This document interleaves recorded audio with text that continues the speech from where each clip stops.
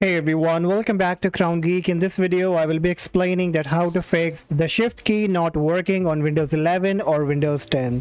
The process will be almost same for both operating systems, so make sure that you apply the three solutions that I'm going to share in this video and I'm pretty sure that you will be having the solution.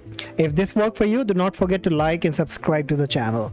The first thing that you have to do is you need to disable the sticky keys on your Windows 11 search or Windows 10 search, click and type ease of access. On Windows 11, it will be coming up by the name toggle keys and on Windows 10, probably it should come by the name ease of access center. So click on the toggle keys on the Windows 11. Now you will see here on the top is sticky keys. So on my end, it's off right now. Probably it should be on in your end and now if it's been on then you have to turn it off. Okay it should be grayed out and off. Okay once you are done close it. Now click on your search box again and type control.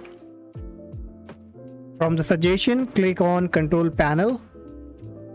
And from here you have to choose ease of access. Now in case if you do not see such kind of interface from the right hand top you will see view by from the drop down you should select to category. Then click on ease of access. Now click on ease of access center. Always scan now this scroll section. down a bit and here you will find make the keyboard easier to use. Okay, make sure you click only on this option, not anybody else. So make the keyboard easier to use. Now what you have to do, you just need to, probably all these options are being turned off. You need to click on them, turn on mouse keys, then turn on sticky keys, turn on toggle keys then on turn on filter keys. Once you have done click on apply. Now you can see the apply has been grayed out. It means the settings has been applied. Now again you have to disable them. Just uncheck all the boxes which you have checked. Again click on apply then click on ok. Always scan this once section. done close it. Now make a right click on your windows icon both on windows 10 or windows 11 make a right click from the suggestion, choose device manager.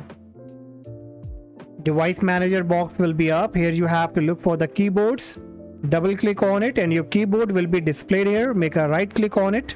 Then choose update driver. Now choose search automatically for drivers. And it says the best driver for your device are already installed. So if there are any updates available, it will automatically update it. Or if it's been up to date, then you will be getting this message. Now once you are done with all these settings, restart your PC and after that you will check that your shift key will be working absolutely fine. And still if you have the issues then let me know in the comment section and I will see you in the next video. Bye bye.